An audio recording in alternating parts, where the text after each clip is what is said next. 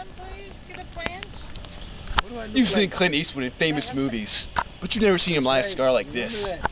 I don't answer to you, woman. Make me one, please. No.